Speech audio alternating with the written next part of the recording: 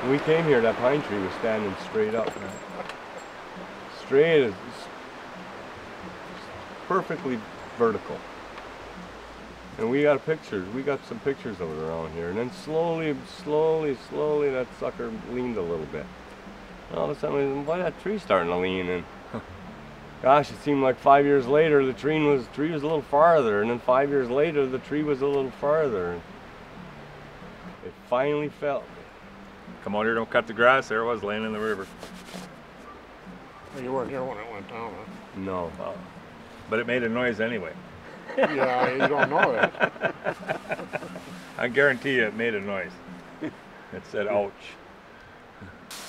There used to be a huge oak tree right here that we hung our bucks on. That was our buck pole, and I don't know if there's any remnants of it. Well, it's down there in the water now. You can see pieces of it in the water. Uh, slowly the, the river eroded and it's kept tilting and tilting until it was too far gone. So then we put our own buck pole up. But, so it's uh, makes me feel old even to talk about that. That's how much it's changed. I've been coming out here for mm, 35 years.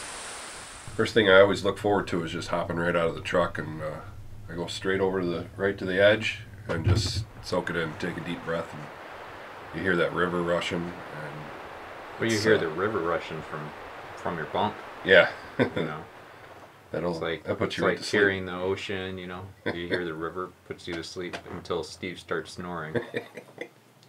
It's. Uh, I've told my wife when I go to heaven, one of the first things I'll be taking a uh, shower in the middle branch of the Ontonagon River with my two Labradors around me. so I always shower there September and May. Man, it is cold. My dad used to take us out here when I was a little kid all the time, and uh, I want to do that with my kids as well. You know, they're only 10 years old, 8 and 6, so it's going to be sad to see it leave here. Uh, you know, two and a half years I think we have left on the lease, which uh, nobody's happy about. in a time when we're so disconnected from each other and, and nature and all that, to remove one more opportunity where it's you know so spontaneous and so prevalent, it's just it just makes you sad.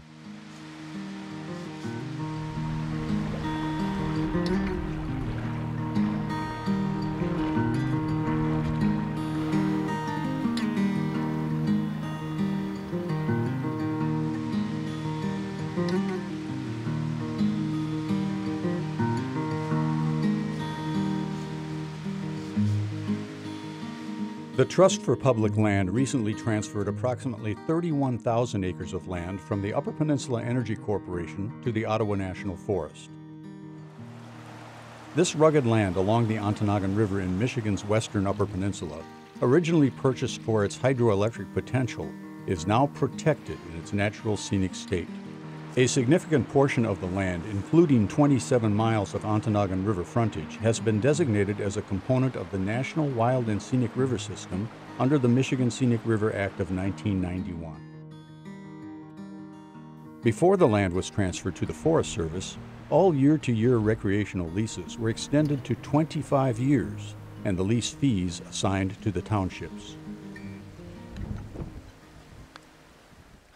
I missed the trip going to camp.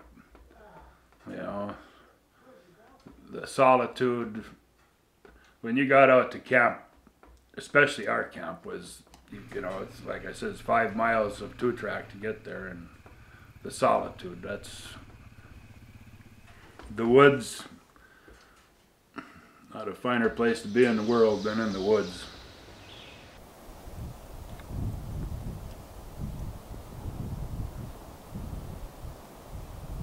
North wind blowing. Probably about zero by now the north wind blow.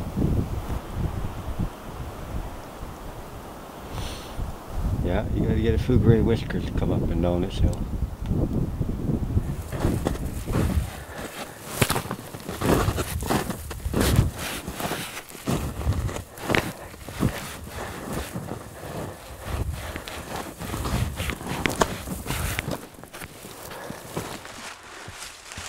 Lot of people won't come here because they, they know the hill.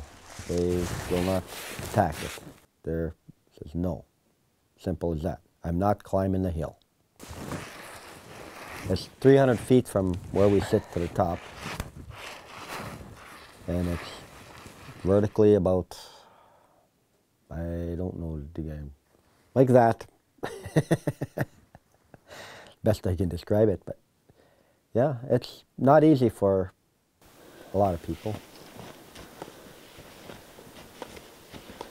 We uh, come to the camp, we park at the end of Three Mile Road, we jump on bike.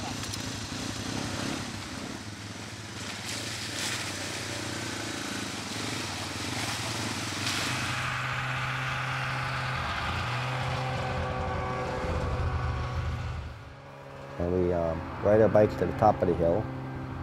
And then we throw our backpacks on and come down the hill with a rope.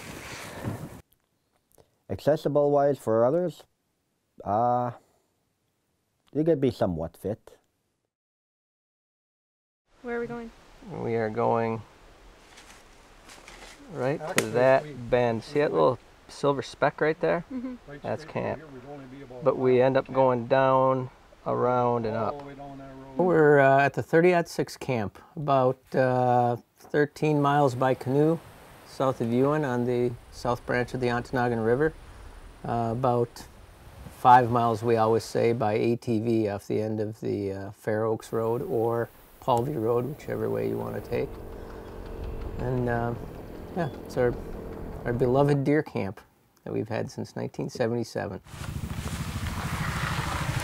All right, gateway to paradise. It's definitely an adventure. That's what we like. I, for years, uh, a lot of the guys would complain about the trail, and I got to say, when I was younger, it didn't bother me as much. And the older I get, uh, the more I wish it wasn't as rugged. But it's tough. It's it's tough going. It's muddy and stuff breaks.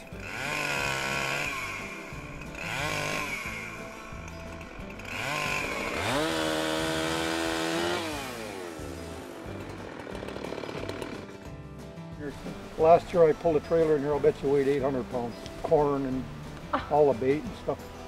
Never, got- well, we did get stuck once up here. Yeah, but not bad. Those little black flies are starting to come out, aren't they? Yeah. They're finding us. Yeah. But they don't bite.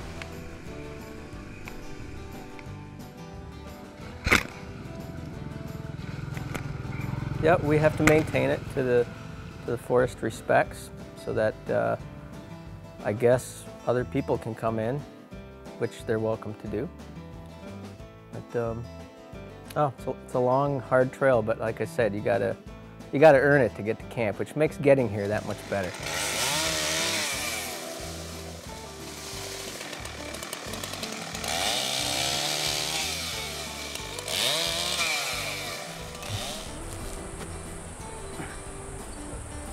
Isn't there a couple of landmarks that we normally stop at? Yeah. There's like that bench. Yep, bed. the old couch the we bed. call it. Actually, that's the place we call the uh, Fender Road.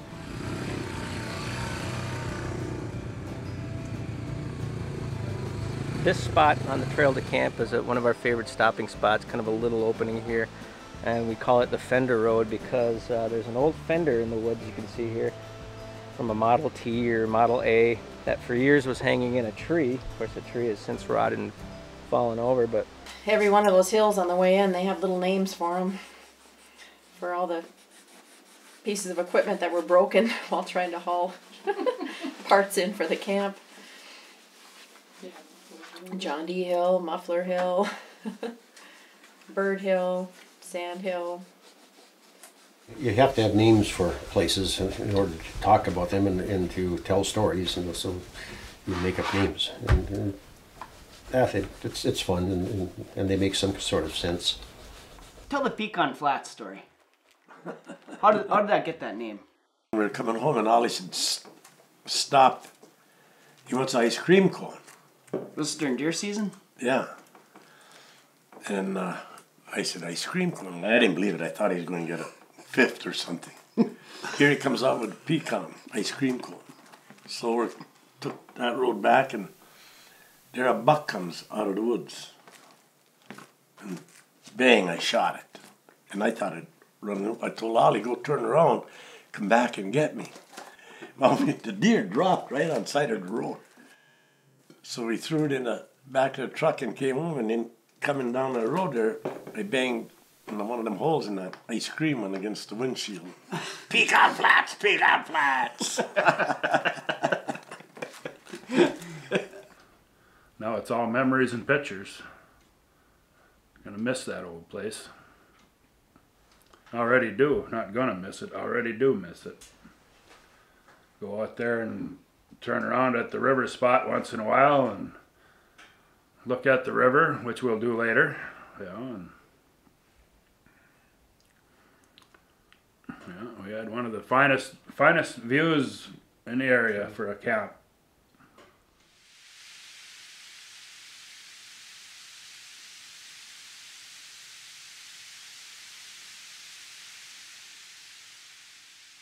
We call it Camp Wood Tick, and we started our lease in 1987.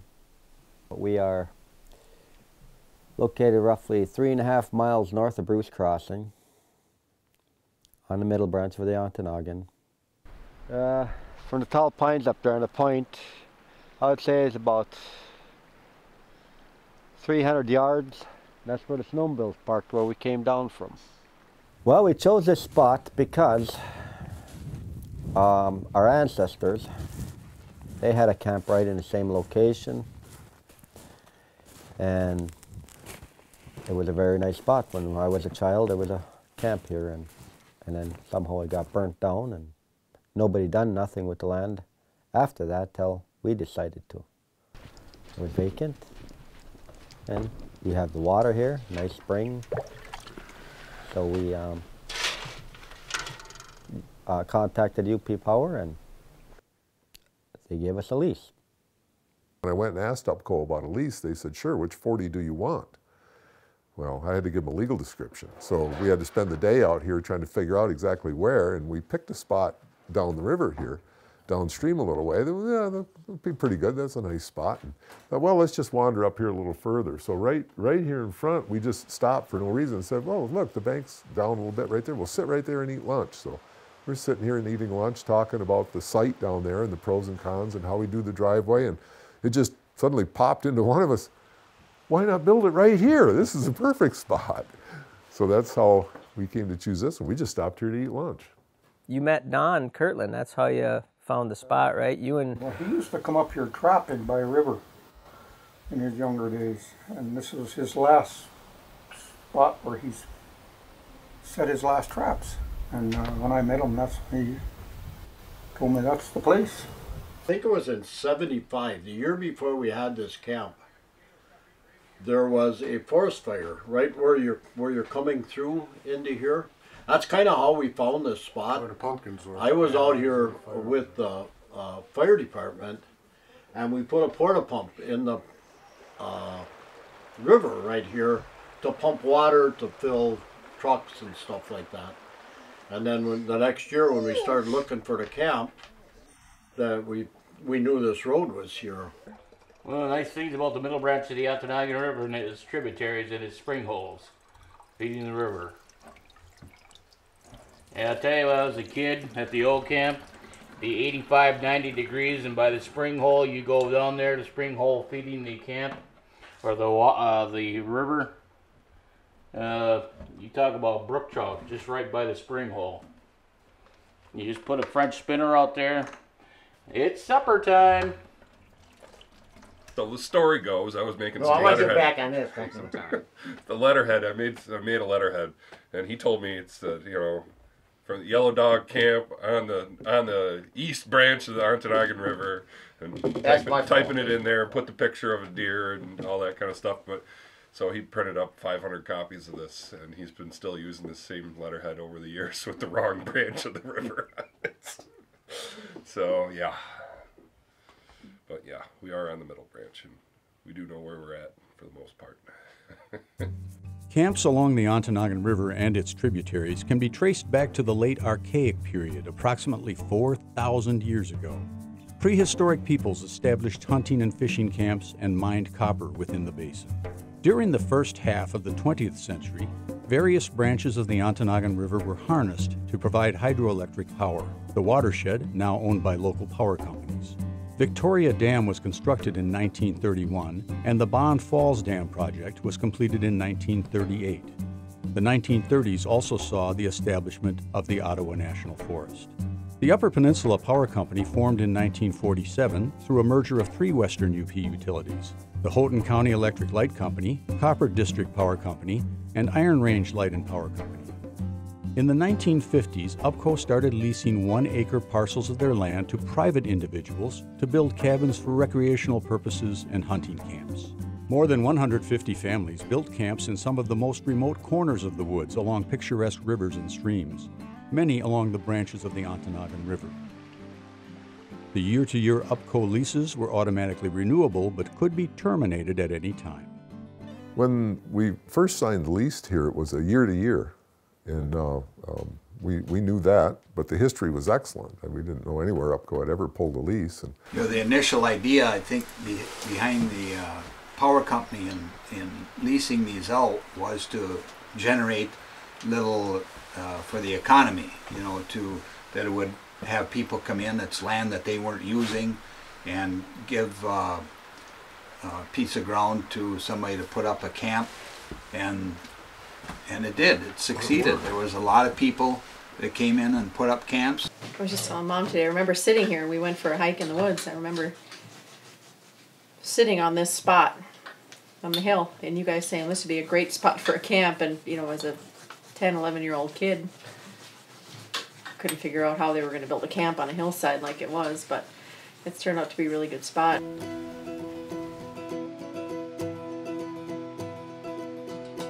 Well, the whole building process in itself was quite an adventure. Very big challenge because of the hill we have behind us. building it was a zoo. Remember that? Because this road is so bad that we had to bring everything in in a pickup. There was no way to bring anything else in. So pickup by pickup load, we brought it brought it all in here. In the old lot of, lot of logs park, they had the old, the old bathroom. It was made out of logs, so we took it apart. That was in 1988 or 89, somewhere around there, when we tore that apart and, and hauled it out to the river five miles with snowmobiles, one log at a time. 42 trips.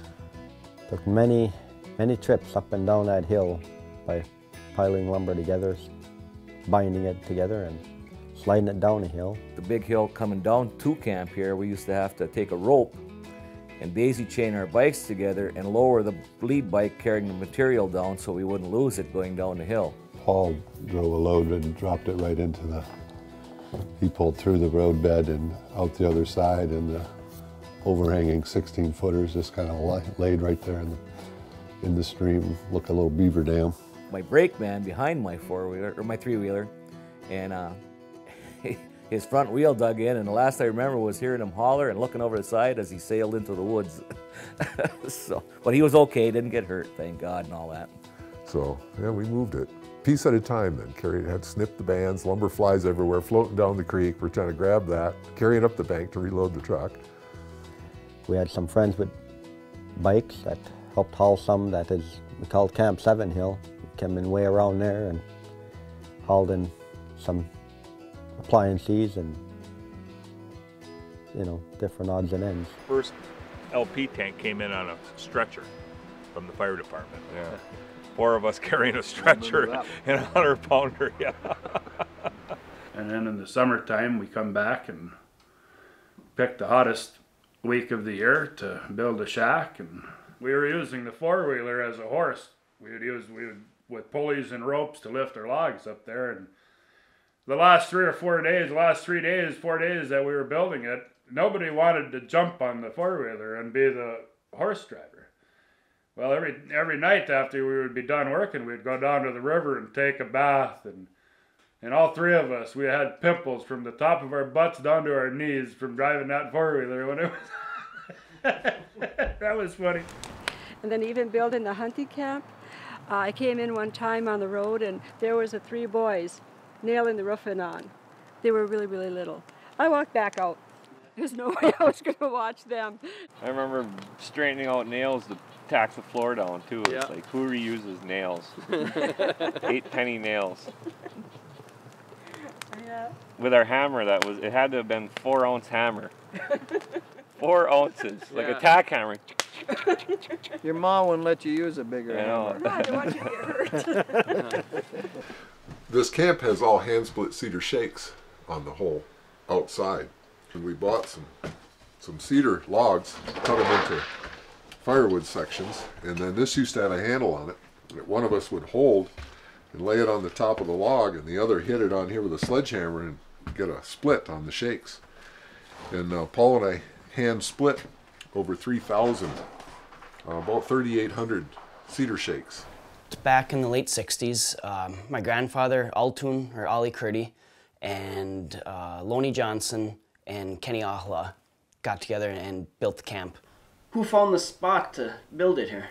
I don't mean me and Ollie, Loney. And then that camp burnt down in the winter of 91, I think it was. The summer after, we built, rebuilt this camp here in 93.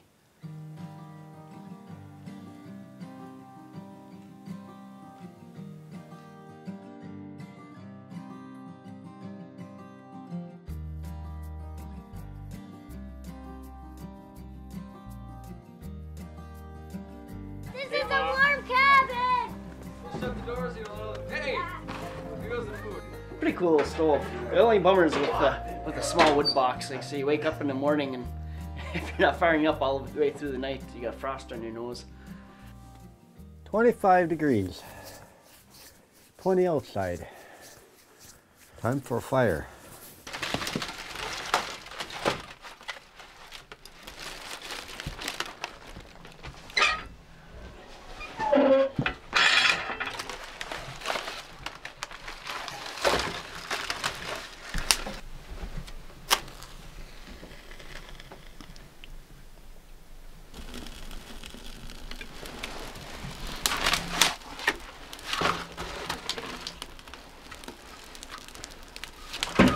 The stove was built by Tom Hadia, uh, my brother-in-law.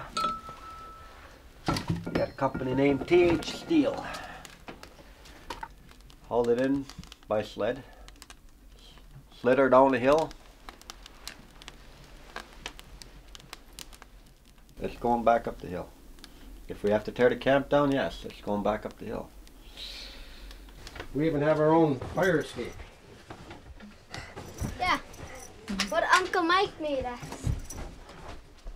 Just in case the stairs catch on fire, we got our own set of bridge. Just in case, you know, wood fires, you never know if a camp catches fire. There's a, there's a way out if we need to.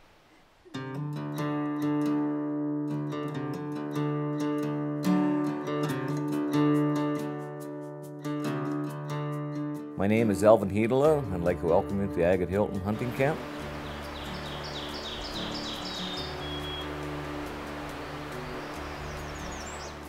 Originally, it was no holds bar none. There was Yeah. we were at camps that had a bunch of rules. We said we weren't going to have any rules. Oh, yeah. And we did.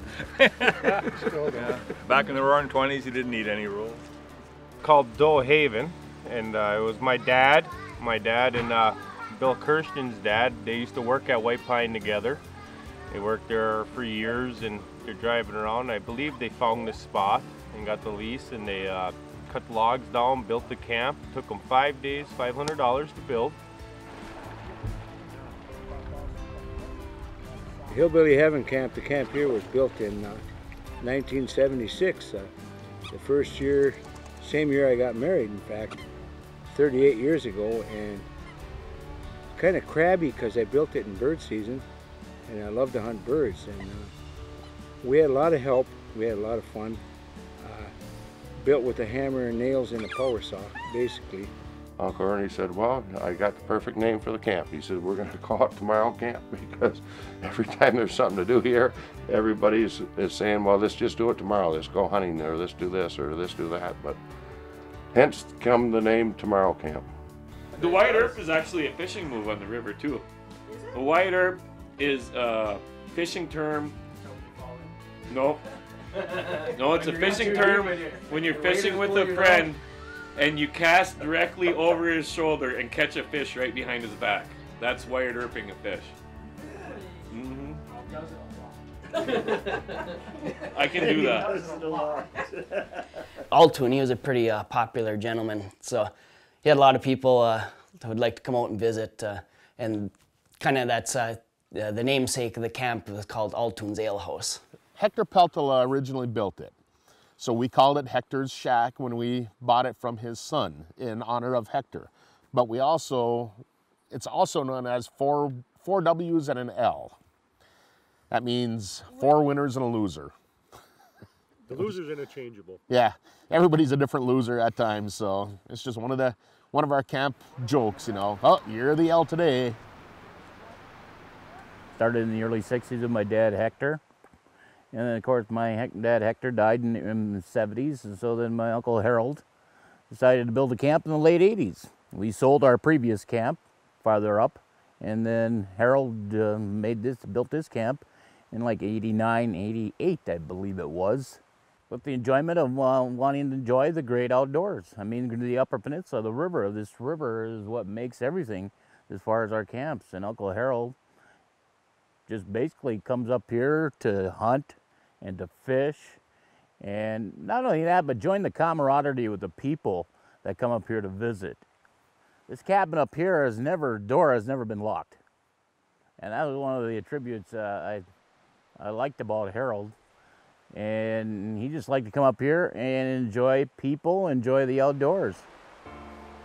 Sometime this week or next, a subcommittee of the U.S. House of Representatives Committee on Interior and Insular Affairs is expected to recommend that the stream flowing past Harold Peltola's camp in the Upper Peninsula be designated as wild and scenic and protected forever. In 1990, a bill was introduced that ultimately designated segments of six rivers in the western UP as scenic, wild, or recreational under the National Wild and Scenic Rivers Act.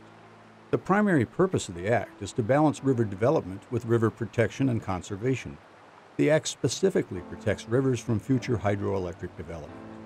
Opponents of the bill feared condemnation of river corridors by the federal government.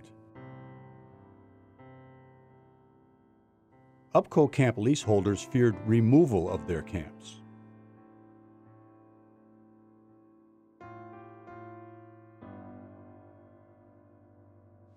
In March of 1992, the Michigan Scenic Rivers Act passed, placing branches of the Ontonagon River under U.S. Forest Service administration.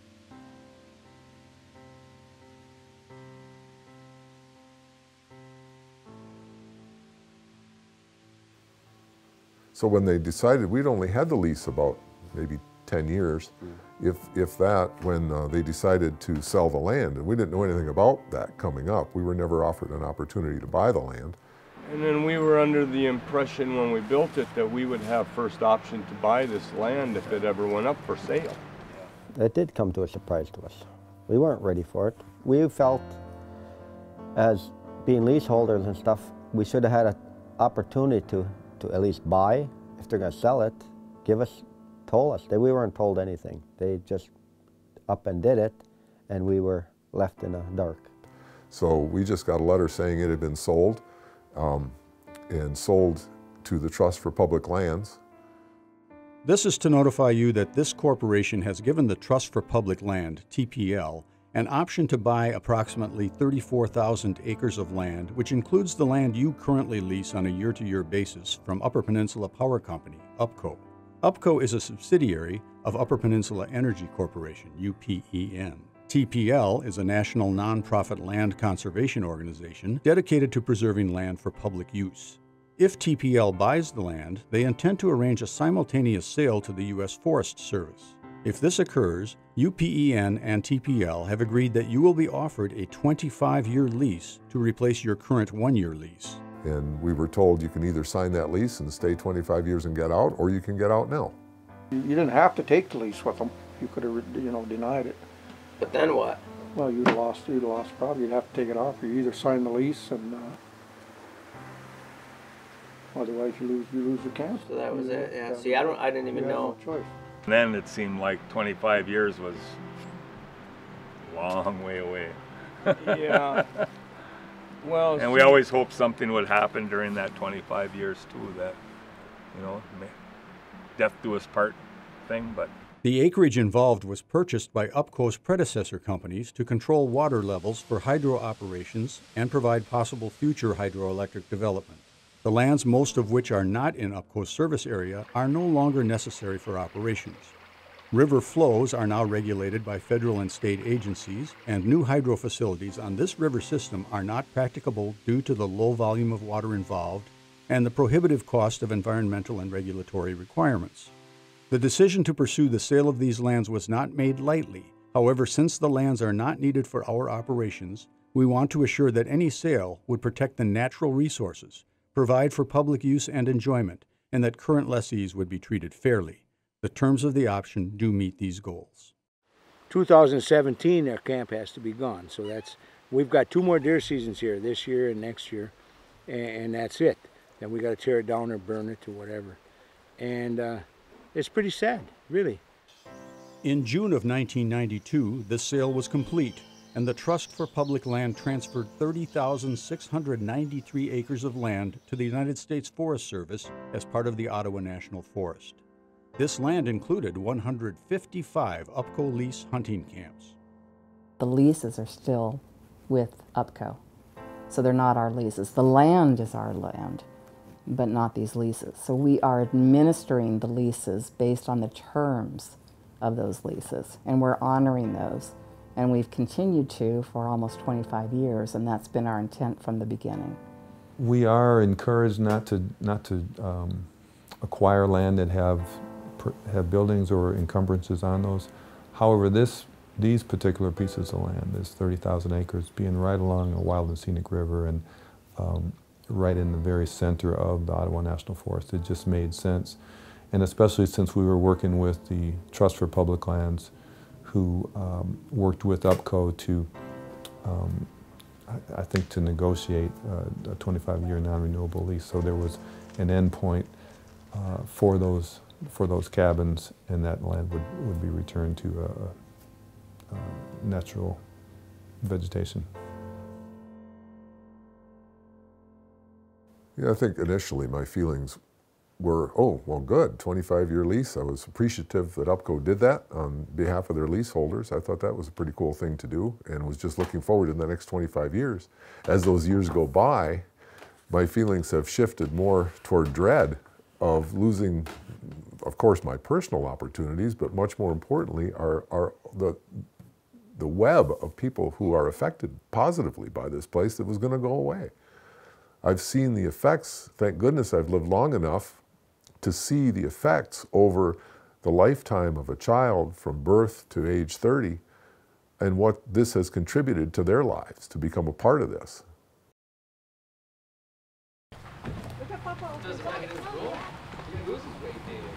Yeah, this is just not a men's camp. It, it's it's, more like for family. everyone. It's a family camp. Definitely a family camp. That's what you're looking for, your orange jacket so you can go out in the woods? What I've learned from this place is probably how to actually be able to get away and use the woods and enjoy it. If not hunting for something, at least looking at something and appreciating it. That's pretty much what I've learned from being out here is just the just uh, being able to pick up the knowledge of uh, appreciating the outdoors and using it a little bit too. Rub two sticks together to get that going. Or Come just on, a baby. shovel full of ashes from the other stove. When you were eight years old, your best thing probably was a stick. I still got my stick It's gun hanging unbelievable. on the side of the woodshed. Your stick? The stick Oh, gun. the stick gun? still hanging out there.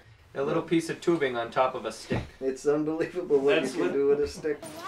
On spruce trees, there's, there's blisters and bubbles. Let's see if I can find some here. I can break it without getting it all over me. Uh, if you do get cut out in the woods, you can you can break one of the blisters on a spruce tree, and it and the sap that comes out will seal a cut up. It also it's very sticky, and apparently has some sort of antiseptic qualities also. I've had some pretty nasty cuts over the years, and just smear the spruce pitch on, and it, it'll seal the cut. And that's uh, that's something you teach the kids also, just you know, just for fun and games. That you know, you can you can actually find things out in the woods that are that are good for you. And every time we mention we're coming out here, they're chomping at the bit. I never tell them a week in advance because that's all I'll hear for a week. we tell them the day of, we're going to camp. And they'll play outside for hours. It Doesn't matter what the weather is. Happy birthday, dear Colton. Happy birthday to you. One more time. Happy birthday to you. Happy birthday. Hey, Colton, blow your candles out. All right, can you All make a wish and blow them out. It's a highlight for Colton. His birthday's, you know, today, October 5th, and he's had several birthday parties out here at camp.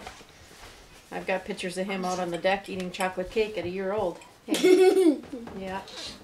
Not a bad backdrop for a one year old to have a birthday party at. Wow, look at that. Thanks.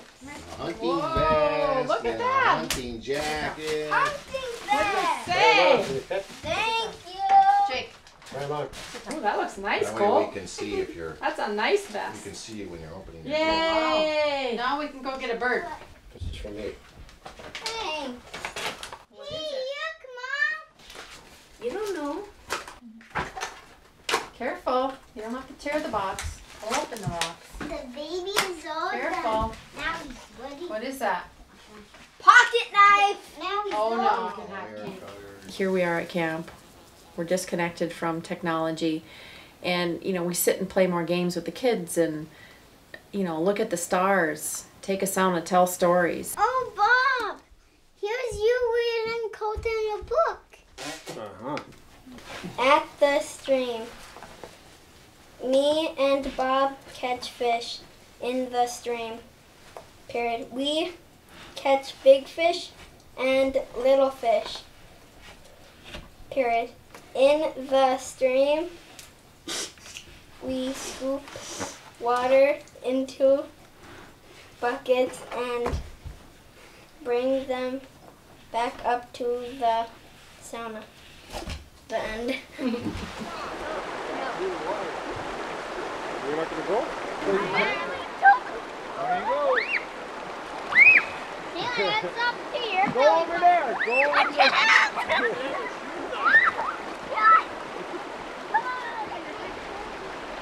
In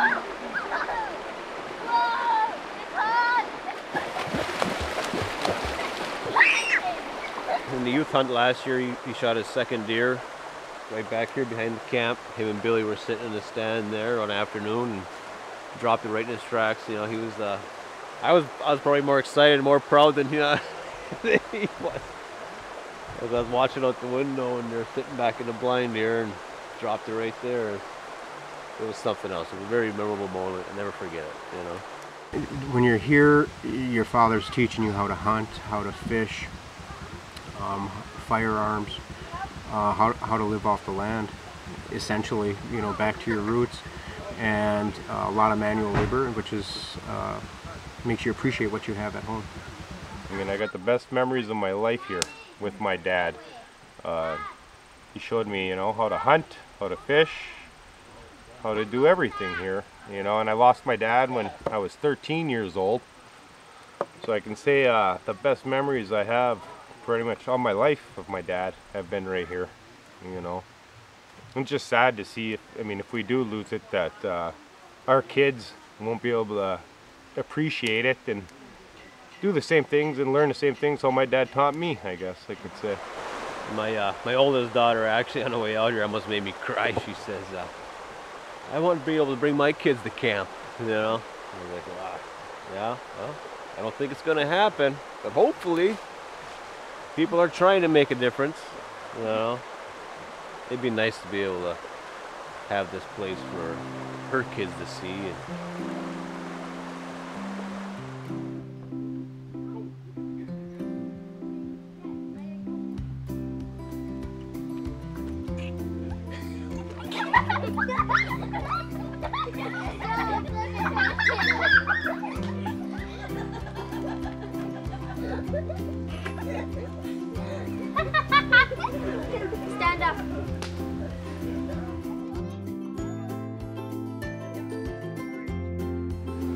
having for lunch? Probably hot dogs. My mom bought hot dogs. Hot dogs? I heard something about peanut butter and jelly. Peanut butter jelly and hot dogs. Hamburgers, brats. S'mores. S'mores? Oh.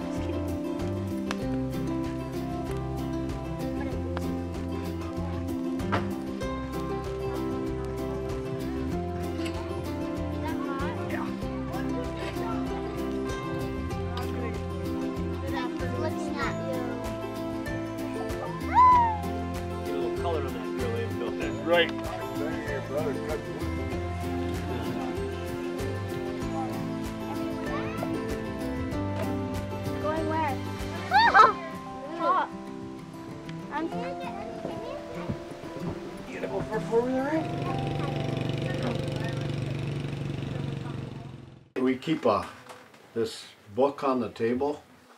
That's been here since 76. And we started uh, when a kid was, years ago, you had to be 14 years old to hunt deer. So they couldn't sign the book till they were 14. You know, they could come to camp, but they couldn't sign the book.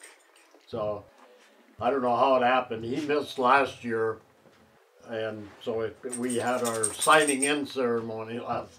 So he just continued that. He signed the book for the first time uh, last night. Was that you, the first grandson that signed it? Yeah. Okay. Nick Call, yeah, 76. First grandson to sign into the camp.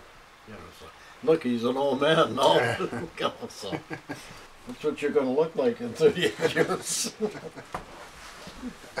and Dick's grandson uh, is handicapped, and if it, if it, we weren't able to come in with the road, uh, he wouldn't be able to come and enjoy his time here.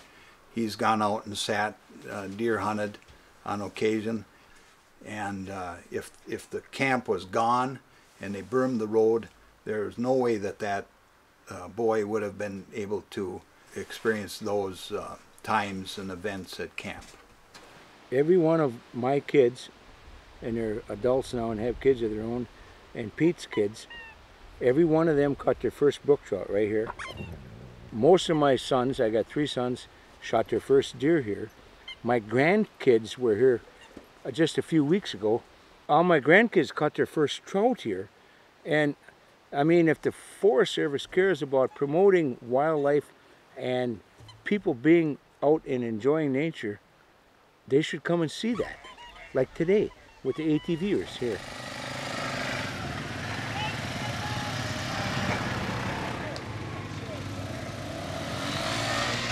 And a month ago when my grandkids were swimming in the river here, I mean, they're gonna lock this place up.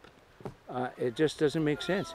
We, we promote outdoor activities. And that's what concerns me about taking these camps away and putting the land away, is that we're removing that opportunity for all these kids to grow up having an experience and future generations to have a true wilderness experience because these camps are here, not because they're gone. And to recognize what the wilderness experience is, that it's not just that popping in here for a photo shoot. It is, you know, sitting here on the river, listen to it. You know, it's just a special place. And while I, it's really a good idea uh, to say, you know, we need to save this, um, there's nothing that we are presently doing that is contrary to that. We're the best stewards of this place. And part of the uphill battle, I think that uh, this scenario, that these camps are facing, is I've watched this mentality within the government or these departments to suggest they don't say it outright, right, outright, but they do in their policies and they do through the rulemaking process when they suggest rules, and that is that for the most part, any human activity in what they would deem to be more of a wilderness type area or remote areas is always in the negative. And therefore, in a way to preserve and keep it as they see it should be kept, human beings need to stay out. A couple years ago, I was fishing down the river. I was right around the corner. I caught a nice big brook trout. And Colton and my dad were sitting on the deck, and I held up that trout. Boom. Slipped right back into the river. That thing must have been. Yeah, between, that's between, long. between the eyes. Oh. As I was growing up, Altoon would always tell me, Altoon and Kenny, they both tell me, oh, there's big browns in that river. Well, I'd fish and fish and fish, and all I catch is these little six inch brookies most of the time. And then, oh, you gotta put your time in, gotta put your time in. And yeah, yeah, whatever.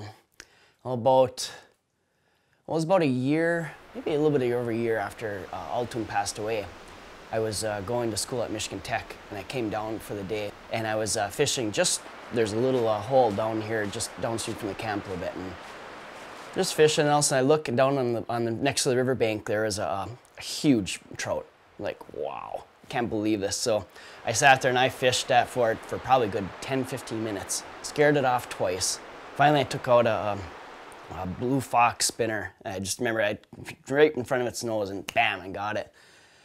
Uh, but it ended up being a, a five pound brown. It was a beautiful fish. And, you know, after those guys telling me that all those years, oh, there's big browns in there. Mm, They were right. I was really hoping I'd be able to show Altoon that one. It wasn't a bad one to release, though. He was super fresh, so Nice male. it was a good fish. Let him go, let him grow, Then they'll the, be back. the last one I got down there was a female, and I took her right off the bed, and I casted right up in there, right in the perfect spot. There was like this much room to make a cast without getting snagged up on the brush. And as soon as that rapala got over the top of that brush, she smoked it. Well, I tore one of her gills, so we had to take her, but she only had four eggs left in her gut. Oh, really? Yeah, so she was Pretty good. spawned She was done. In our case, we have hunting and fishing, uh, some of the best anywhere, any place in the United States.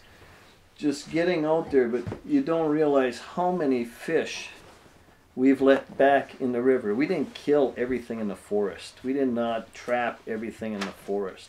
That way we get to see animals over and over and over. I've been seeing them for over 50 years in this spot and uh, um, my kids have seen them for however long they've been alive. So. Yeah, we're gonna go for a little walk. Ellie, right here. Look in here. Look in here. Look in here. Good girl. Hunt him up. Hunt him up there. We start about nine in the morning. I got like a, a one mile loop right here that I do at the camp. And then I got a big four mile loop that I do when I go out north with her. And uh, that's what we do. If you stay off the trails, you don't see any, not one person. And that's how I like it. Just me and her.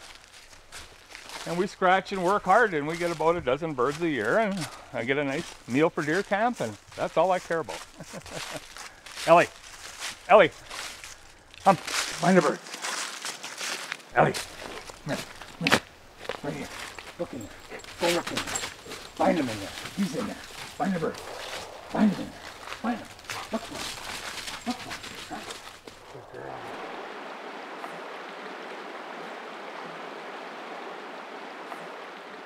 We had one gentleman, well, Ralph, Ralph got a letter. He actually left a letter here. Ralph knows Yeah. the story behind that a little bit better than I do. His name is Marty Kepke from, he was a fisheries biologist for the state of Wisconsin. And Sackett's, I, I left them a message, a note, you know, stating I'd fished the area quite a bit and would they mind if I parked at their camp? You know, I, I immediately called him back and told him anytime he wants to park here, go ahead. And I said, if you happen to see a pup tent pitched by it, you know, don't worry because some nights I sometimes I like to spend a night in the woods and just head back the next morning. Well, about an hour later, I think it was, I got a voicemail. You didn't have to stay in no damn tent. You know, we gave him the spare key and said, you know, go sleep on our couch if you want to sleep. You know, there. He said the one he has slept in here a few times. He said that one one evening it was supposed to rain really hard, so he figured he'd take us up on a, on our offer. And he came out the next morning and there was a few inches of water right here in the lawn, so he was quite happy to have a nice dry couch to sleep on. It's pretty nice of him. And I finally met them the last weekend of the season. And he said if we bump into each other this summer, that he'd show me how to run the generator and all this stuff. He said he'd do anything he could to help a veteran. And now we are right here. Basically, we're right here, just above the walking bridge, what I call the walking bridge one. You know, what's the difference? You pitch a tent or have a camp. I, I have no problem with those camps being there. personally, it doesn't bother me a bit. Um, just, they've been there forever. They don't hurt anything. God bless them. I, I envy them.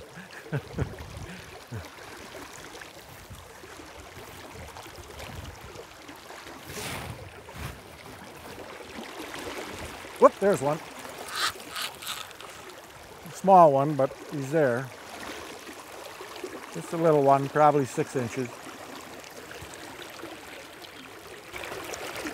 Okay, buddy, come on. Gonna put you back. if these camps do go, these roads aren't going to be accessible to, to people to come in here and actually enjoy the river. Older people, they can't walk in here. It's a long way ways in here. It's about two miles, about two miles from any direction back out to a road.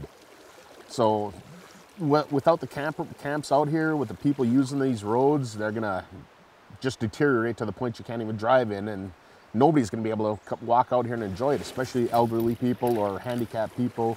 They'll never get out here. And I know I had a friend of mine contact Ironwood office of the Forest Service, and he asked them, well, you know, why do we why do we have to remove these camps? And he was told by them apparently that uh, well, we're monopolizing the river. You know, this area has to be shared by everyone. If they're saying that we're monopolizing this area, I just can't agree with that. I mean, if anybody wants to come down here, they, they're more than welcome to come down here. Anybody wants to come down here and set up a tent anywhere near here, they're, they're happy. They can come in and use my camp. I've got no issue with that at all. So I don't, I don't believe that excuse washes with me. You know, it's so everybody else can use the land, and the land belongs to everybody. And, and, and I remember saying, well, I understand that. You know, we- don't own it. We don't try to own it. We're just using it. We're just leasing it. We, we know that. You know, go out and find another place to hunt. It's basically what, what I was told. You know, they just don't understand. It's not that easy. Their uh, response, uh, when I inquired about, was that they don't have, they don't have the authority. This this uh, forest doesn't have the authority to issue these types of leases. They're not our leases to extend, even if we had the ability to extend, which we don't. The, the Forest Service doesn't lease land anywhere. However, they do issue permits for uh, special uses for uh, on national forest lands, like ski resorts or um, other items where somebody has a, a use that's not a public use or it's a, a use that's uh, restricted in some form or fashion. And so that, that does occur. One special use permit that exists on national forest lands across the country is a recreation residence permit. The Recreation Residence Program was instituted by Congress in 1915, in a time when Americans were being encouraged to get out and vacation in the national forests.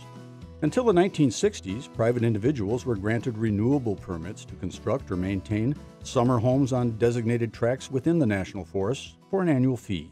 But as time has passed, as the decades have passed, it's, it's one of those things that we no longer need to try to get people to come to national forest lands. People do use them, they do love them, they recreate on them. In 1976, a moratorium was placed on the program and no new recreational residence permits were granted. Approximately 14,000 recreational residence cabins still exist on national forest lands across the country, 22 within the Ottawa National Forest. We're following our policy as an agency. We're not you know, the agency isn't establishing new recreation residence tracts. And so we aren't establishing anything like that because we don't have the authority to do that. We're charged with uh, managing that public land for the, the American public and, and really our, our forest plan, which was written in 2006, is really our contract with the American people. So when we, when we did put that out in draft form, we talked to that in the public. Um, not only local people, but people across the country responded and, and talked about what they want, what they hope to see in the Ottawa National Forest. And you know, as we move forward with projects, whether that's a timber sale or um, improving improving a recreational area, we always have to refer to that plan because that's what we that's what we contracted with the American people to do. And and part of that plan says no new recreational residences. I mean, that's written right into the plan. And then when you look at that along with the leases that end in 2017, it's, You know, it's just that's that's what we have made our commitments to.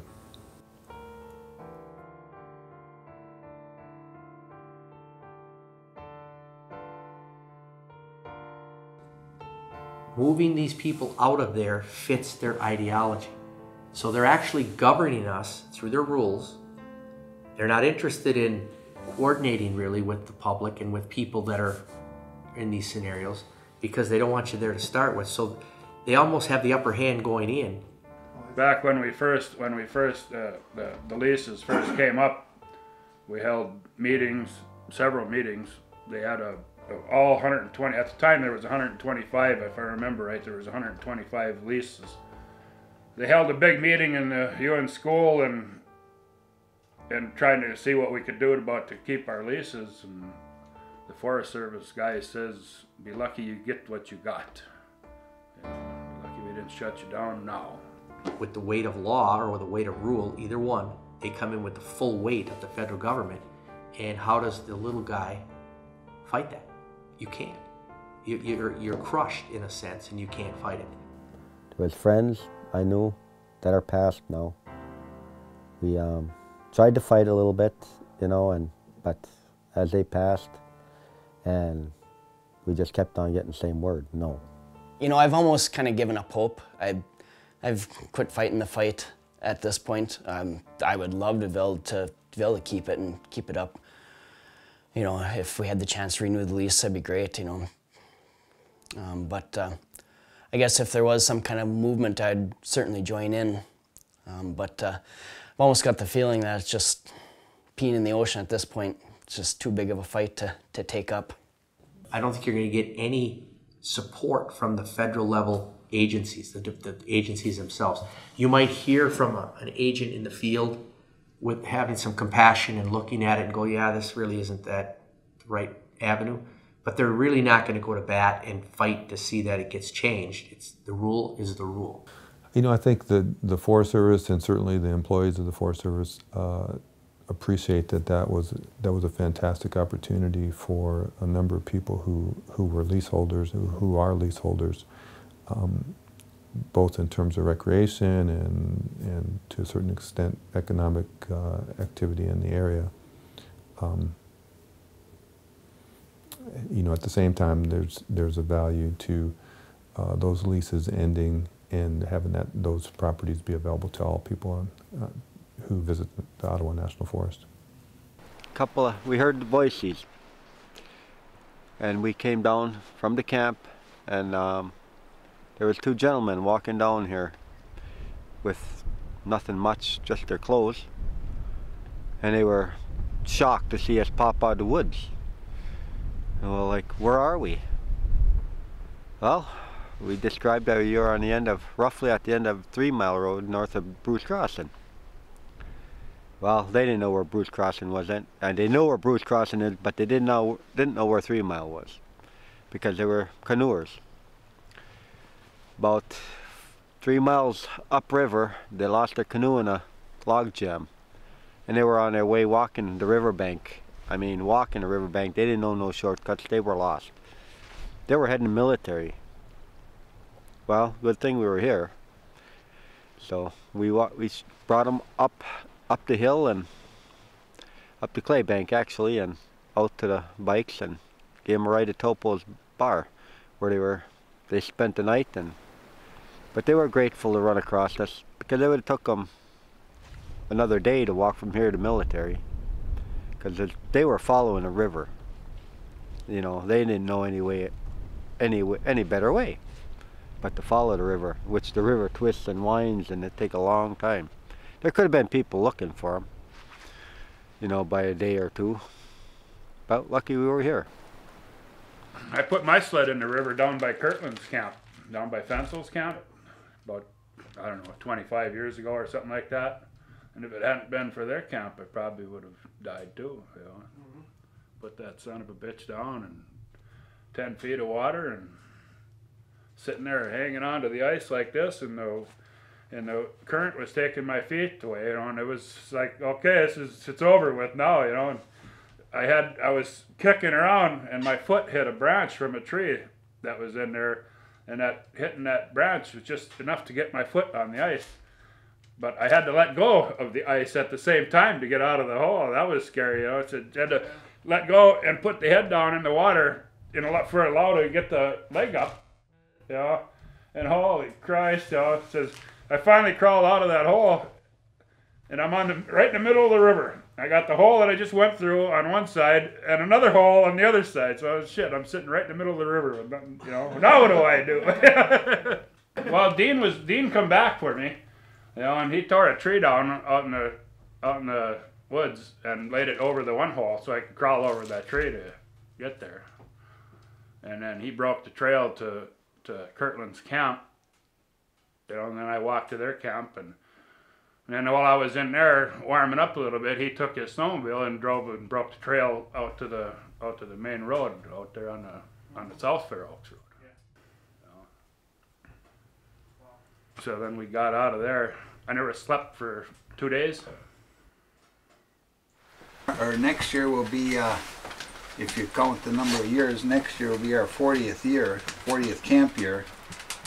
And uh, over the years, the log has been filled by people that we've had snowmobilers in the middle of the winter from Minnesota come in here. The place is never locked, or if there's a padlock on it, the key is hanging right above it. The door to the riverside is always open. So we've had snowmobilers in here take refuge and have have lunch here. Um, we've had fishermen, I don't know how many fishermen have told us that they've used the outhouse here. You can see the outhouse from the river. So a lot of fishermen that fish here have, have uh, enjoyed the facilities here as well. So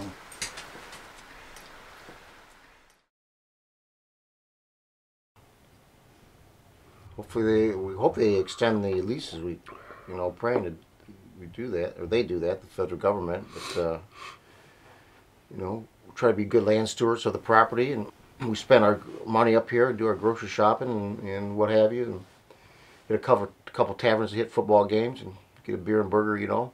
So, uh, you know, buy our gas up here, etc. You know. Throughout the summer, every time we come here, you know, we we buy our, our groceries and our ice and, and buy our, our propane gas in Bruce Crossing. Uh, we spend a lot of money, as, as do all the other camps in the local area.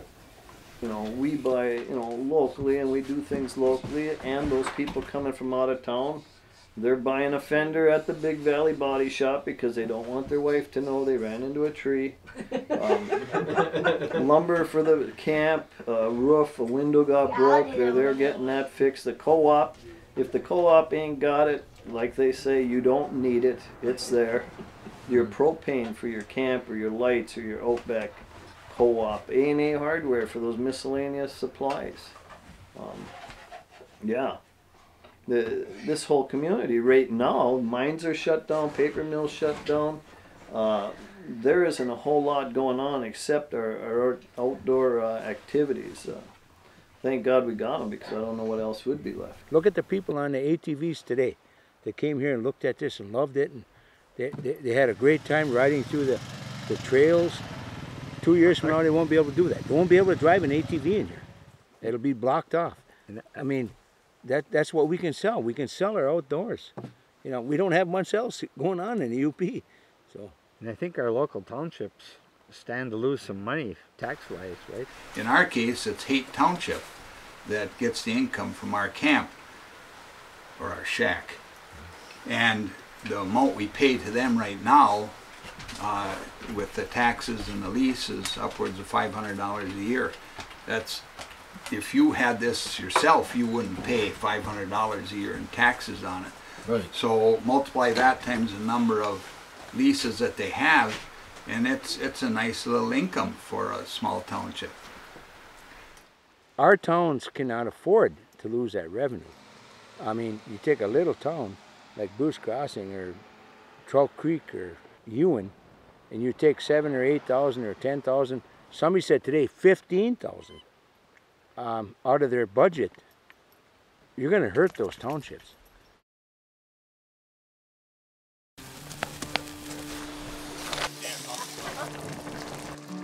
Look at that. pasty. We're not the camp cooks, no. Bunch of bologna and uh, just cans you can throw into the fire and then pull them out and eat the Vienna sausage and ravioli. And You hear stories of other camps where they're, well, you got people that don't know how to cook, but it's always been like a tradition here that, gosh, everybody was always had their specialty and jumped right into the cooking. You know, mm-hmm. it's always been part of our deer season is the meals. Yeah. And I'm not kidding you. We, uh, I've always left 15 pounds Oh, yeah. Yeah. after Oh, deer yeah. season. Always. And I never trudged through the snow and walked so much as deer season, but getting exercise. But holy cow, the food. He usually brings us. Yeah, he usually feeds, brings the venison feed, and he's got everything. He's got the whole kitchen tied up, and every pot and pan and piece of silverware used up. Saute seasonings. Yeah, it's all, all the special sauces. and He still won't reveal some of his recipes though, but. Dave does the partridge, and No, Willie does now. You still do the wild turkey. And Willie Dave, does. Dave makes one of the greatest venison meatloafs I've ever tasted. Oh yeah. Smoke a big pile of salmon and have that all, all week, and give it away to people that visit, and bring some home. It's, it's getting hard to mix up the menu now over the years because we all expect them meals. Yeah. oh, Yeah. If I took it off the menu, I think everybody'd be really disappointed. Oh, what, what did you do that for? We, uh, we like certain things that we've known are good. We know how to cook them. We know we like them, and so the menu kind of tends to stay the same year after year. One time, somebody said to me, since I kind of in charge of the menus and the food, they said, "Are we going to eat the same thing as we did last year? We eat the same thing again?" I said, "You haven't had it in a year."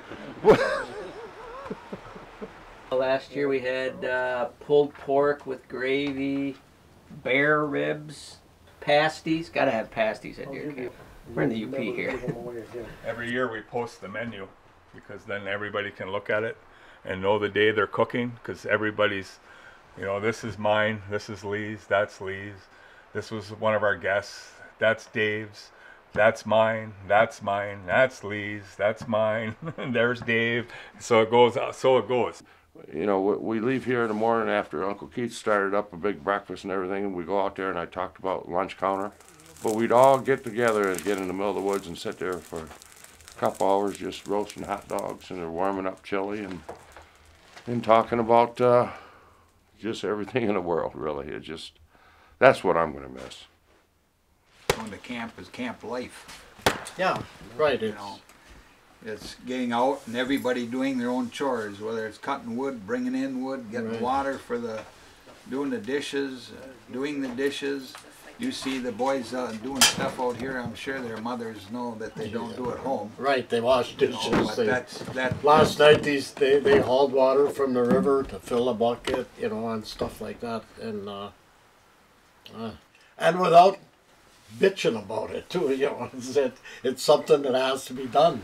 Except for today. Dishes, except he get them today, and uh, sometimes I cook breakfast out here. And What's the first thing you do when you get here? I was telling her. mow the lawn. No, normally, what's your first thing you do? You can hear Call- it right now. Gas up, get the generator gassed up Nope. and going. The clock. I love the clock. It, But there's a lot of work that's needed to be to maintain a camp. I realize that every time I come up here with my kids. I got to do everything. But you know, the, the hauling sauna water and uh, river water for uh, kitchen, cooking, cleaning. Speaking of which, we need to go water up the sauna again, don't we? Lee's kind of a thinker. You know, every camp should have a thinker, and uh, then then you need doers after the guy thinks about it. Then you gotta do it. We hook the pump on the end of the pipe. And we come over here. And we pick this up. We swing it out like this. Lower that down into the water.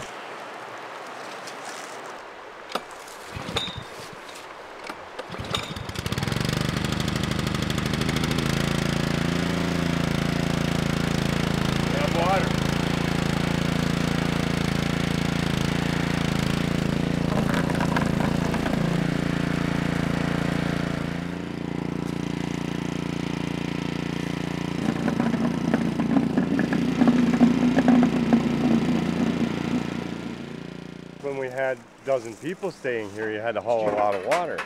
So when I finally had a dream and I dreamt this thing up, I got the Shack of the Year award after I came up with this one because nobody had to haul all them buckets anymore. Actually, this year didn't bring the little shy on room, so didn't bring the generator up. So we're gonna uh, we're gonna do a bucket brigade up the hill to get to, to fill that up. We We're gonna tie some buckets to Gigantor and put some snacks up up on the hill.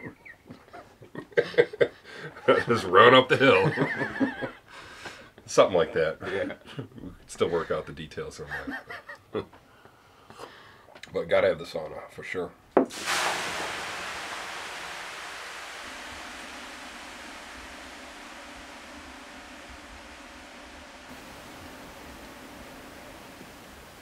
Altwood always wanted to build a sauna out here, and we fought him on it and fought him on it. Oh, we don't need to be building a sauna. First year we had it, first thing we said, oh my god, that was the best idea you ever had. We, we always leave the sauna unlocked. We don't have a lock on the sauna. And we, and we try to keep, uh, we always keep a supply of dry firewood inside in case anybody ever needs to build a fire in a hurry, in the, especially in the winter. We hang our hunting clothes out here in the evening, um, overnight, because, well, we always make sausage or bacon in the morning for breakfast, and that tends to cling to wool. So it gives us a good place to keep our, our, our hunting clothes scent free and dry. We named it the Rat House. Actually, should be the Rod Rod House. I was finally corrected in the pronunciation of his name. I've known him for 30 years. So we nicked At least 30 years.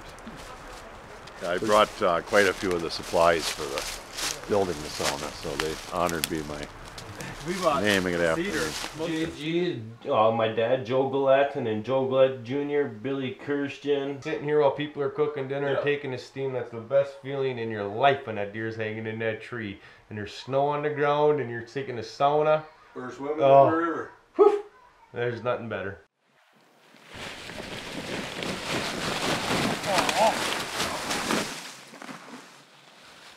Hunting season is not just that one five, six, seven, eight day period. It's it's the trips that you make up before that, you know, to haul in supplies and all the fun you have doing that.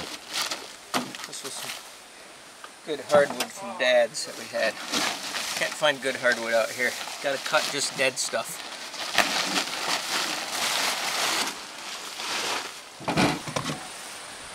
This metal, if you're wondering why that's there, we have to put it there so the porcupines don't eat our camp. They they like our camp almost as much as we do.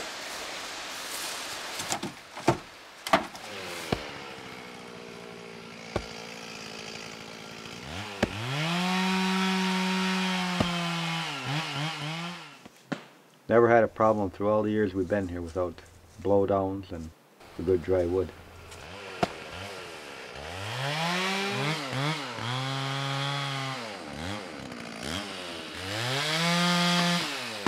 We made some firewood for deer season. How's that better? Got to go check out the blind, see if it's still standing. That's tomorrow.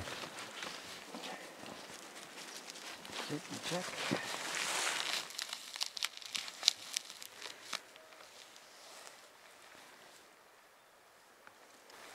Yeah, good enough.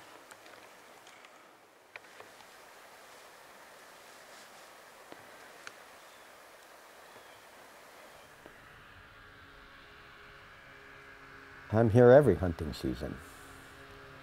Uh, years ago, I used to be, well, when we first built it, it was all of us, Willie and Roy and everybody I mentioned. We all were here in the beginning, and other friends, but as we got older, some passed, and now it's just my daughter and my son-in-laws, and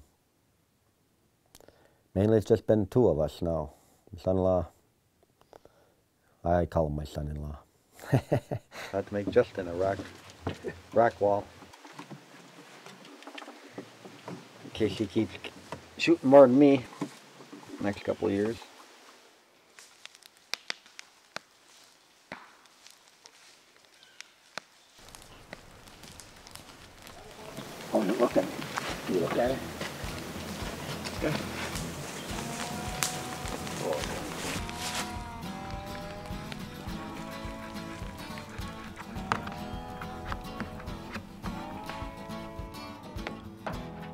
Give her a little more boiling time.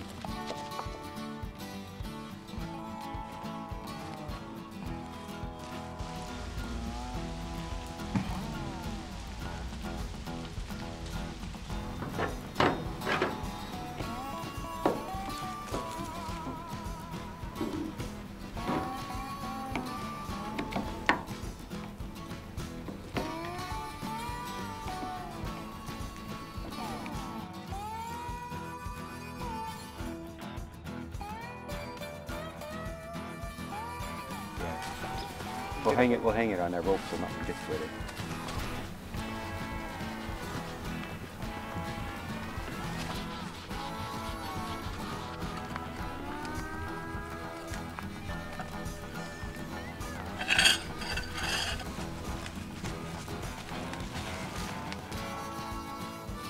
Another buck on the wall. There we are. Yeah. Groovy. Yeah. Both maybe this year we can put one on each side, eh?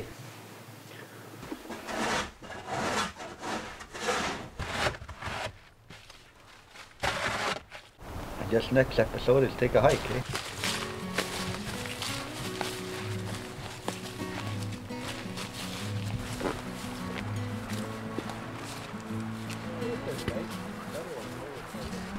That all that's all eroded from way up there on our own. Wow, Yeah. we got to cut to the left. It's gonna take. We're gonna have this whole clay bank open again someday, all the way to over there, like it was when we were kids.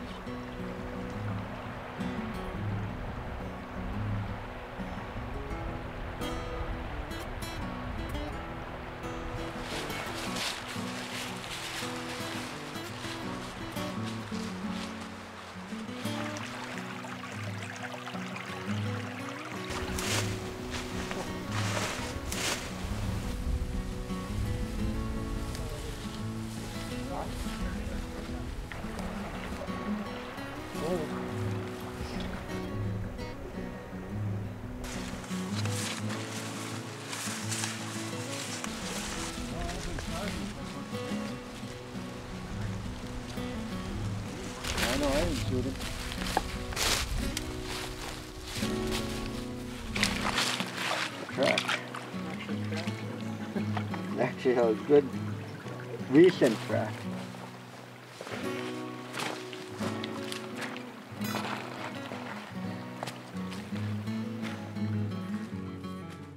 Deer season is special up here, and well, I don't have to tell anyone around here how special deer hunting is, but the buck report on the AM radio every evening, where the uh, the local scores are reported, but you know the deer wise, but the camps send messages to and from other camps. It's just, you know, occasionally there'll be a camp that you know of, or the person that they're talking about, or you know, it just makes you realize how connected you are to so many places, so many people, just by coming up here, you know, a couple couple weeks a year.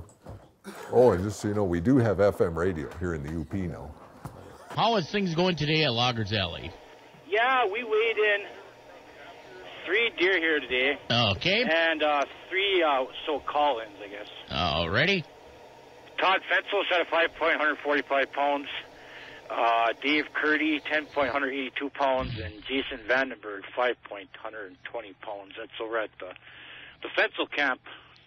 Yeah, get up, fire up the old coffee pot. You know, you can hear, smell the bacon going and whatnot. Getting the old orange-clad army ready to get out in the woods, and you know, smoke coming out of the chimney, and the young kids coming up. You know, just eager up 5:30 in the morning, getting ready to go hunting with Dad. You're not gonna have that anymore. Uh, no more camps. No more deer season. No more deer hunting. No more tradition. No more history. That's part of our culture up here for years, for decades. That's going to be taken away from us. Now, I understand the U.S. Forest Service and our government is really careful on protecting our species, our wetlands, which I am all for. But how about our culture and history as well? I foresee if these camps are gone, then nobody's going to use this place. This river will be probably, they'll burn the roads off, or maybe they'll make a big road where it'll be like a park. So, where does it leave the deer camps? You know, this is gonna be our 37th deer season. I can't remember, uh, you know, maybe a couple little arguments, but I mean, hardly. we- We've just gotten along so well. I mean, it's it's more like brothers than than friends. I mean, it's we're a pretty tight knit group, and I think more than just deer hunting, it's just we can't wait to just spend two weeks together. I mean, we've been friends a long time. Never the two biggest bucks ever killed at the barn hunt. I believe this one was 87, no 89 and 95. Uh, that was muzzleloading. Mhm. Uh, I danced with my daughter. she was there. So yeah, she didn't. Uh, it's the first time she'd ever witnessed it. She didn't know that when you shot a buck, you got so excited that you danced around. Yeah, we were. Uh, we were we were muzzleload hunting at the father-in-law's camp just down the river. If somebody asks where the moose came from, we tell them behind Arts. Behind Arts, If they ask where down. the antelope came from, we tell them back behind Arts. And any the ducks and the pheasants and everything else, when anybody ever asks, we, we get them all from behind Arts. Behind Arts. Deer camp, there's there's no better way to define uh, being one in nature, and it's never been about shooting a deer. It's always been about the camaraderie with the guys and teaching your kids, uh, you know, how to survive and toughen it out and get through tough times, and it's been wonderful. I can't tell you the amount of laughs we had in this place. It just We don't see Uncle Corn that often, you know, Yeah. because he's a busy man. So this is the time to catch up and see what he's up to and tell stories. And after about four days, everybody has uh, Had their fill. gigantoritis or roscoitis or tympanitis. One, one of three. Mostly gigantoritis or MacGyveritis. Normally. It's six foot four. in some in some places. Yeah. Yes. we have this Top Gun trophy right here, and right last year is Steve, Chris, and James. So we got the Top Guns here. Just wanted to point that out. See who's Top Gun this year. There you go. Mhm. We like doing the early thing. We're big, big bow hunters, so it's kind of nice to get up here and you. That's you know that's where it, where it pays off. You're you're actually getting out there. You can't just show up the day before opening day and expect to see something. So that's um that's what's been cool and yeah i just I, I don't know what it is about this place i just i, I think about it all the time when i'm uh, when i'm home out of season and in summertime and just can't I, you know coming up to the trip coming up to camp here is something i you know really anticipate throughout the year so I mean, i'm already thinking about next year's trip I've got better deer hunting where I live, you know, but it's not the same. You got to come to deer camp, and we've we've shot. Don't get me wrong, we've shot some really nice bucks here, um, but uh, it's not about the hunting. It's it's about- it's about uh, it's about the people. It's about the people coming to camp, and and uh, it used to be my dad and the old people when I was young and my kids were little. Now my kids are big and now my grandkids are coming. And uh, now I'm the old guy. I'm the old guy. Pete and I are the old guys now. We're the old guys at camp. But you know what? Uh, I'd love to see my sons be the old guys in here someday. But unfortunately, it's not going to happen. I, I don't think. First year, I had my deer by nine o'clock and came back to camp to get my dad and Colton. We went and hauled it out of the woods. For us to build this camp now in Keweenaw County, the same size, I'm guessing, with all the restrictions, would probably cost us fifty, sixty thousand dollars for a camp. Um, most people can't justify that. And it's, uh, so it, the, the tradition of deer camp is going to die.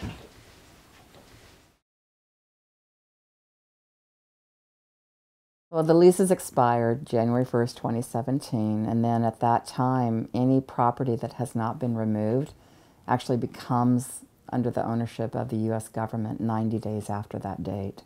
It'll never come out in, in one, one or two pieces. You know, it's 50 years old is what we figure. Um, The road come in here isn't that wide. I mean, right, it's gonna have to be taken, taken apart and hauled away and probably thrown in a landfill or something. We can't, we're not gonna be able to take it apart and put it back together somewhere else. It's just gonna be a complete waste of, of a camp. We'd have to uh, remove everything that they say is non-perishable. You know, your glass or your stoves, anything. And everything we want that we put into this thing as far as, you know, our mounts, our table, you know, things that mean something to us. Even the lumber, like I say, it came from my parents' property. If, if it comes to that, it's burning it down. That's gonna hurt. Uh, I can't burn it. I could, I could not burn this place. Uh, I plan on taking it. My, my plan is, I told Pete, I said, I'm 70 and he's 67, 68. I said, we're going to take the camp down, we're going to put it in our, my basement. we're going to put the, the, the original camp would fit in my basement. I said, so, so I mean, I would love to do that in a way. Take the interior of my camp with the stove and the table and everything else and, and put it in my basement. And I'll call Pete and say, come on over, we're going to camp. And then we'll go downstairs. Without the Forest Service help to uh, do some road modification to allow us to break the camp into chunks and take it out on a lowboy or a trailer, if we could at least do that, um, it would be easier to comply with the terms of the lease. But under the current requirements, we're not allowed, and, and of course don't cut any trees or dig any holes or do any grading. And so it's uh, going to be very difficult to get this camp down and, and get it out of here. But we don't talk about it a whole lot just yet. I mean, we naturally we have a little, but and Lee has an exit exit strategy, I guess you'd call it. But. If they're calling it, the end of it is the January 1st of the 17th, then we wouldn't be able to stay here deer season on the 16th. So our strategy is going to be just that, I guess. Tearing it down the 17th, or the, the year 17. And bulldozing it. But I mean, other than a strategy, a strategy, I guess that's everybody's strategy, isn't it? Got 90 days after that to remove it, so I might wait till the 89th day. So we'll see.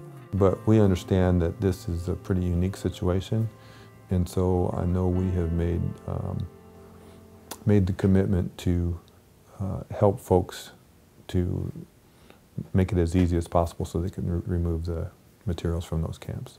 So if that means working with those folks to find the, the, the right season or to um, assist if there's some trees that need to be removed to, to get those camps out, we're willing to do that. I would be honest with you, I, at my age, I'm not ready to build a new camp.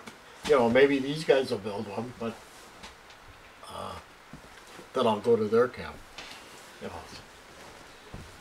I mean, a lot of the talk is, you know, we we love coming up here because it's a unique to this part of the of the state.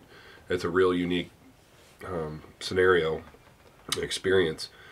But you know, if we're gonna if we're gonna buy something, do we buy this far away, or we get something over more towards Newberry, something a little closer, so we could use it, a, you know, a little more often? I, you know, I really wrestled with the question of whether it'll be worth it to come up to a place that's not this place. You know, and these people here, uh, my lifelong friends are the reasons why I will, will probably do that. But I'll always long for the ambience of this place in which it happened. You know, it's just There's so many stories in this building.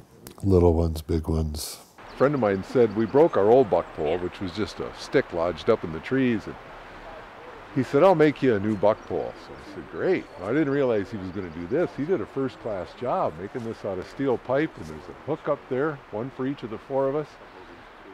But then his friends got involved too. They hauled it to the, to the nearest bar and got together that afternoon. They were going to bring it in here and, and install it. But first they decided they should paint it Congo pink. So Congo pink it has been all these years, and now they put it on the radio. Every year they call in during the buck report. And they want to say hi to the guys out at the the big huskies out at the camp with the pink buck pole. Don't be nervous there, George. It's probably about, I'd say now, about 10 years ago now running, I had a partridge on the trail. There's a, where the bridge I was talking about that Shane and I built. Right in that area, we'd always see this bird. It was there for seven years, seven years in a row, and I know it was the same bird, the same bird, because it always come to me. It started when I come down on a bike, and he'd fly and land right on the bike, and he'd sit there with you on the bike. If you went slow, he'd ride right with you. But it was always in that one certain area. I've got pictures of him. Matter of fact, I've got one on the back wall here, a big blow up of him.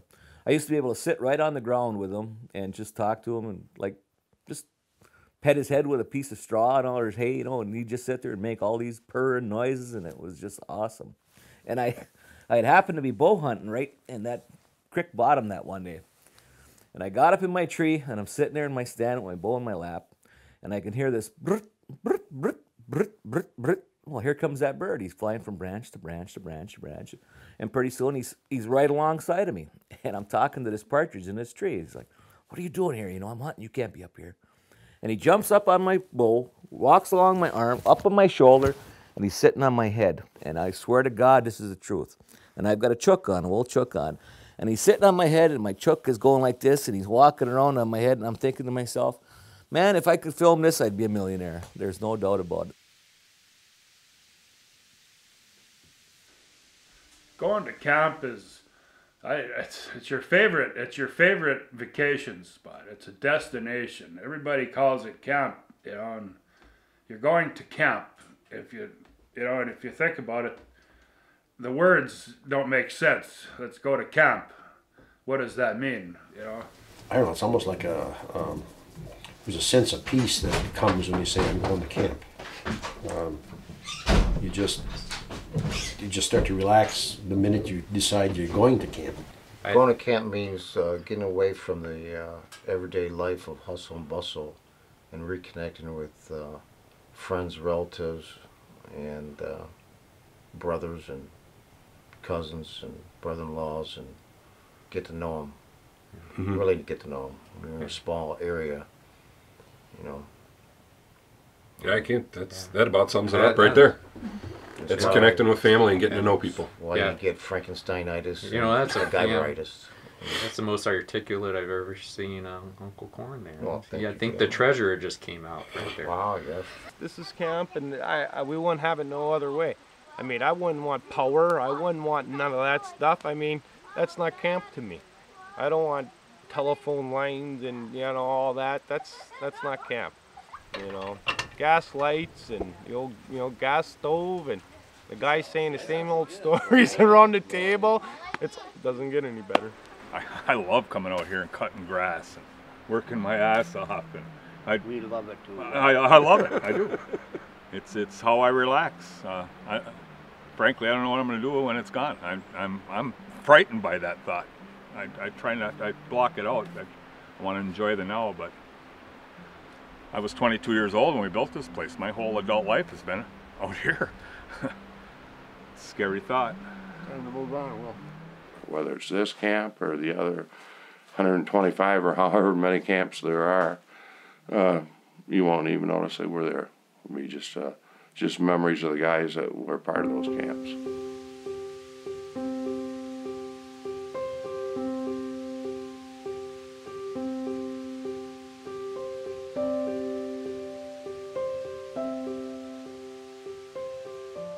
And that's uh,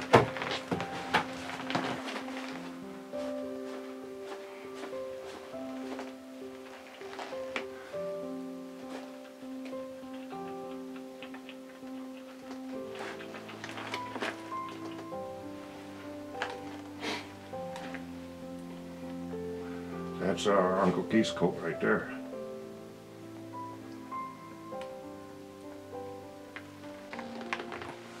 Probably nobody appreciated that. the Norwich Bluff and this area more Uncle Keith.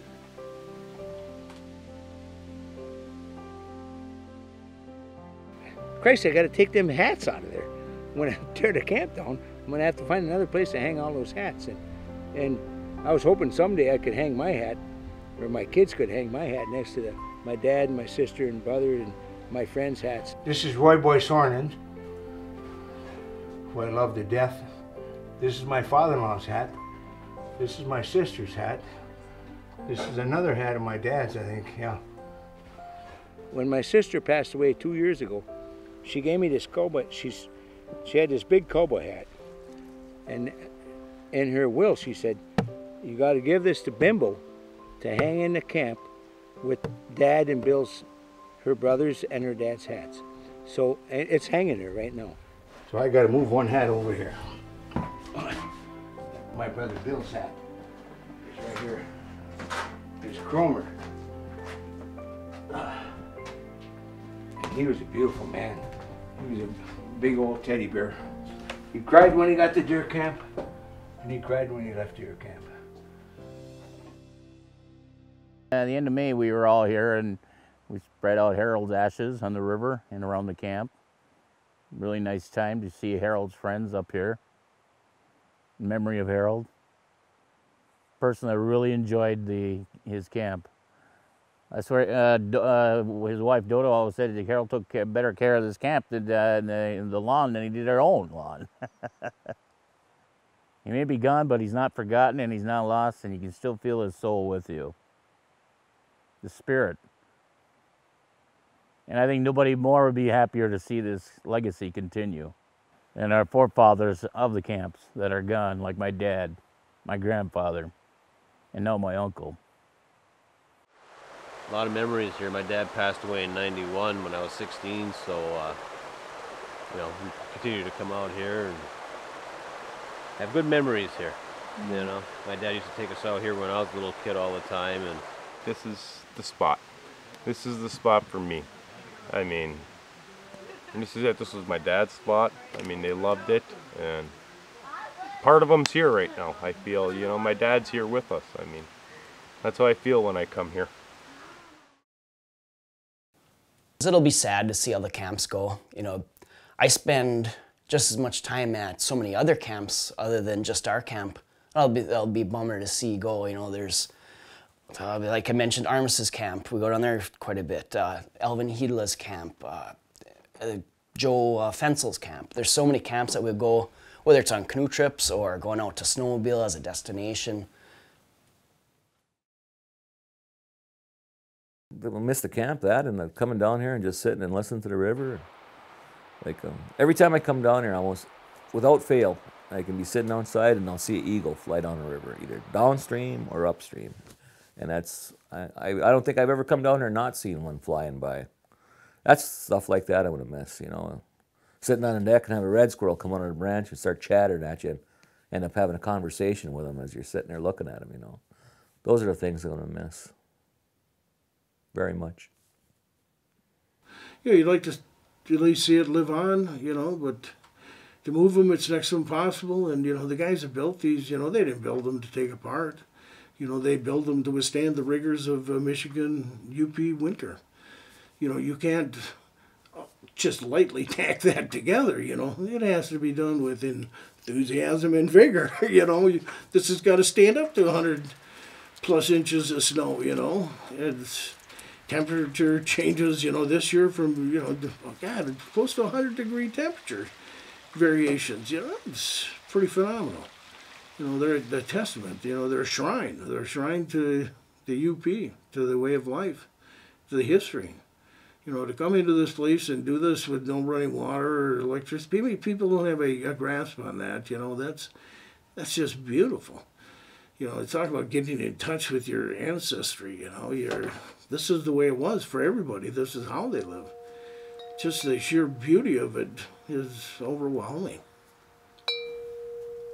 I don't see a way out of this situation. I completely understand why people want to keep their cabins. It makes sense to me. I mean, I get that.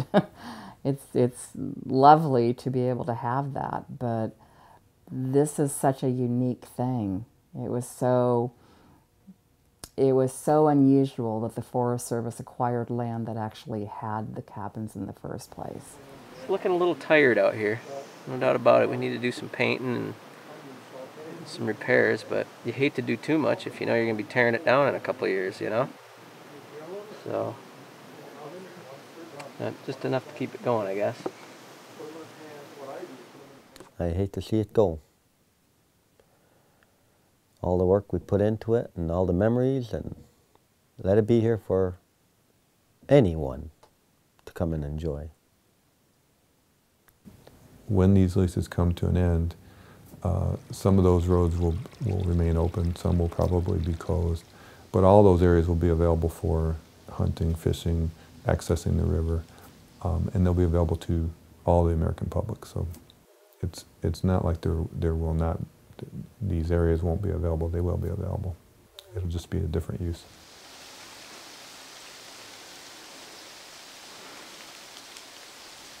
I think it hit me the hardest when after we had Colton, he started growing up and he's so into the outdoors and um, watching him I just beg to go to camp. Let's go to camp and want to spend the night out here and get so excited and um, seeing the look on his face when we get out in the woods and go fishing. I mean, how many times have you pulled him out of the river? But, you know, just all those experiences of being out here and away from technology almost, you know being together as a family that you know a lot of people just don't enjoy that so much anymore. And then knowing that you know as you start counting down the years it seemed like so far out and then all of a sudden you're counting oh he's never going to be able to enjoy deer hunting out here. And you know she won't either. She's four. I told you earlier about how many kids have been here and enjoyed this. This girl was from north carolina. She says deep in the woods past the sunny side you will find a little cabin after the bumpy ride, and once you are there, you will see how much fun you can have, fishing all day, coming home with lots of laughs. The river may be cold, the furniture rather old. Who cares if there's no TV, and the jokes told rather cheesy? Have fun while it lasts, 'cause soon it will be in the past. Enjoy your stay. She did. She had a great time here.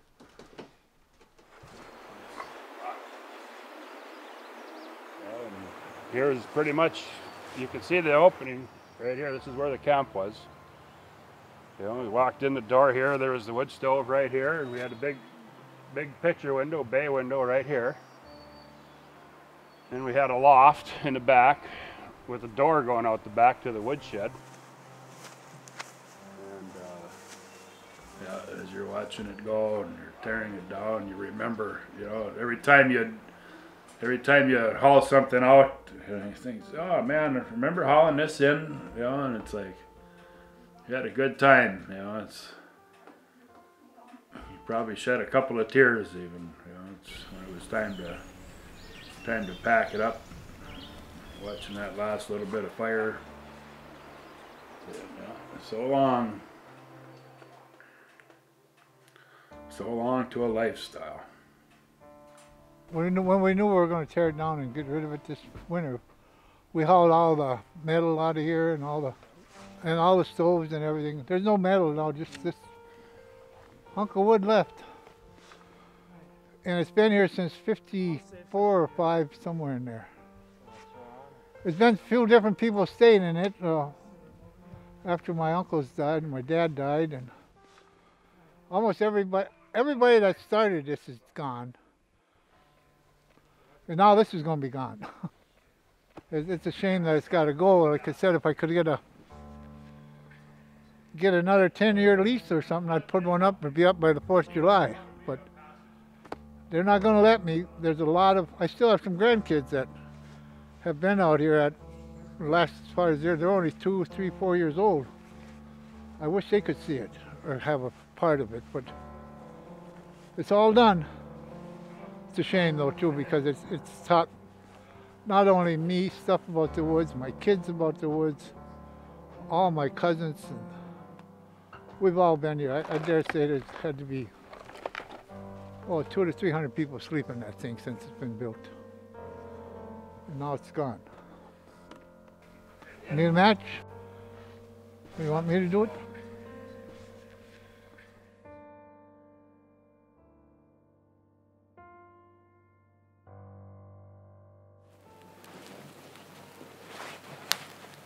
I don't know if they're cussing at me from up there or if they're happy.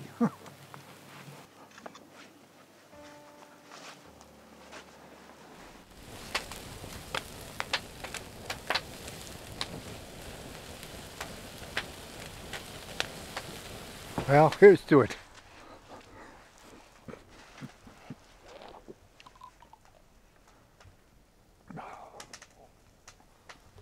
Little tears. You don't have to put it out.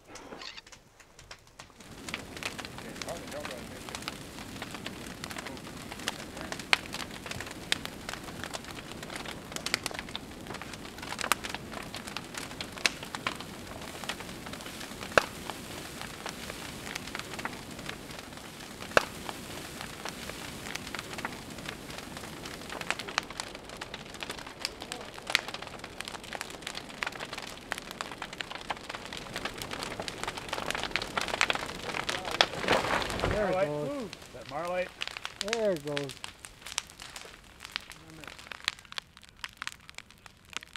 Yeah, oh dear little cabin, I loved you so long. Now I must bid you goodbye. I filled you with laughter, I've thrilled you with song.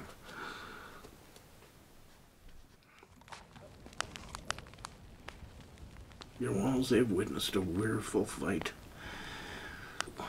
But oh, in my triumph, I'm dreary tonight. Goodbye.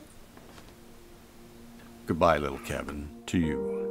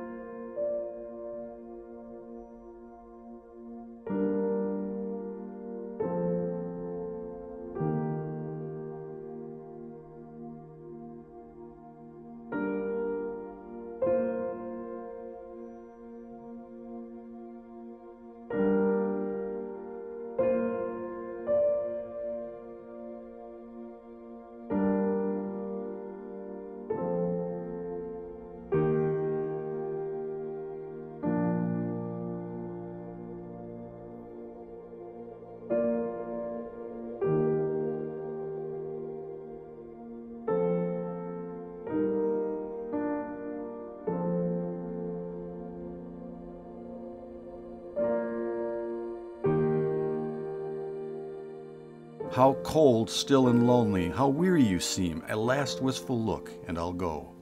Oh, will you remember the lad with his dream, the lad that you comforted so?